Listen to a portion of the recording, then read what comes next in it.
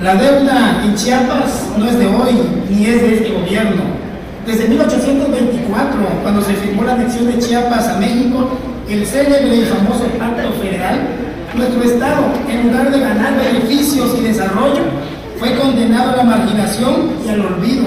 Marginación y olvido que lastiman, porque eso provocó una pobreza extrema y un rezago brutal en materia de infraestructura y servicios básicos. No hay que ir muy lejos para tener cifras, datos y anécdotas de lo que hoy manifiesto en esta tribuna.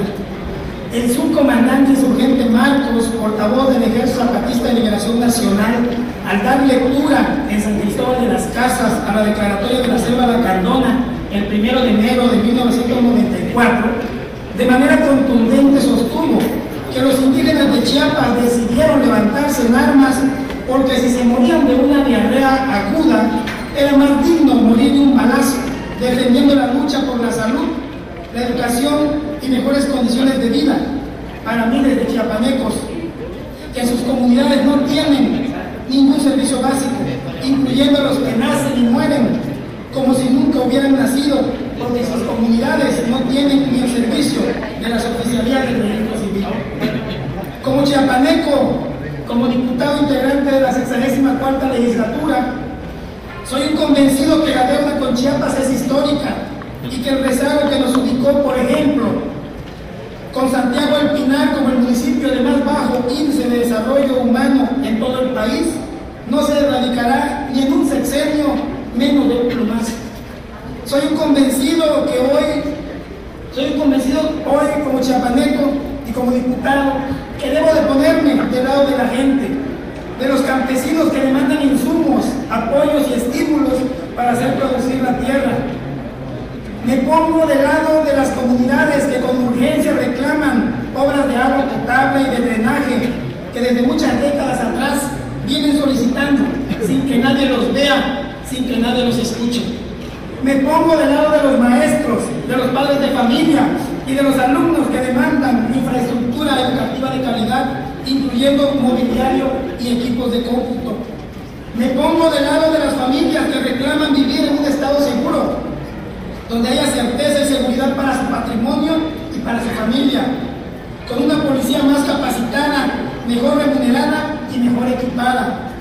Me pongo del lado de las familias que han perdido sus viviendas y sus pertenencias que hicieron trabajando durante toda su vida a consecuencia de los fenómenos meteorológicos y que al aproximarse la lluvias y huracanes se sienten vulnerables y temerosos de volver a sufrir una tragedia similar o mayor, por lo que requieren obras de prevención y de protección. Me podría pasar la tarde argumentando las carencias y los dolores de nuestra gente, de los chiapanecos y de las chiapanecas, pero me basta con decirles que como diputado, hoy la vida política nos pone en una situación histórica de gran trascendencia. Ubicarnos al lado de quienes le apuestan a que el gobierno no avance, a que nuestra gente siga sufriendo y se desespere y explote en una revuelta como la del 94. Esos que le apuestan al estancamiento y le ponen obstáculos al progreso, desde aquí los convoco a sumarnos a las iniciativas, a los proyectos y a las acciones productivas, preventivas y de avanzada que viene impulsando el gobernador Juan Sabines. Me unifico a quienes han convocado mis compañeras compañeros, diputadas, diputados, a votar a favor del presente dictamen, porque entiendo que se necesitan recursos para batir rezagos y atender necesidades apremiantes en el estado de Chiapas. A las instancias técnicas, normativas y jurídicas corresponderá vigilar la correcta aplicación de los recursos y confío que el titular del Ejecutivo del Estado velará porque el gabinete cumpla con la transparencia y con la rendición de cuentas que permita, ¿por qué no?, obtener otro primer lugar en esta materia, el de transparencia, como el recibido el miércoles de la semana pasada. Al principio de mi intervención mencioné el conflicto armado del ZLN en 1994.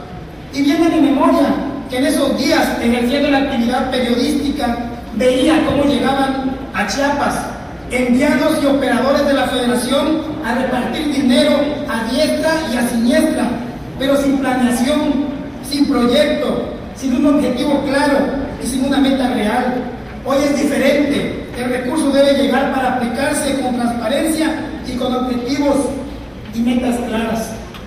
Estoy a favor del dictamen, porque del total de lo que será solicitado, 2.863 millones 774 mil con 37 centavos, ¿sí? son para aportarlos al FONDEN, el Fondo Nacional de Desastres, programa federal que administra la Secretaría de Gobernación en todo el país.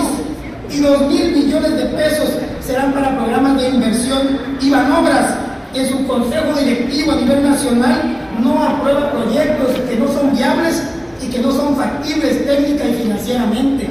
Además, la corrida para el pago se ajusta a la capacidad de endeudamiento que tiene cualquiera de los tres órdenes de gobierno, porque Manobras no le presta a particulares. Chiapas no necesita solo 4 o 5 mil millones de pesos, pero seguro estoy que coadyuvando con esta aprobación del dictamen, nadie me podrá, nadie me podrá acusar de torpedear ni de ser factor de obstáculo para que a la gente de mi estado se les atienda se les escuche y se les responda. Yo sí, yo sí pongo mi corazón por Chiapas y por su gente. Es parte diputado.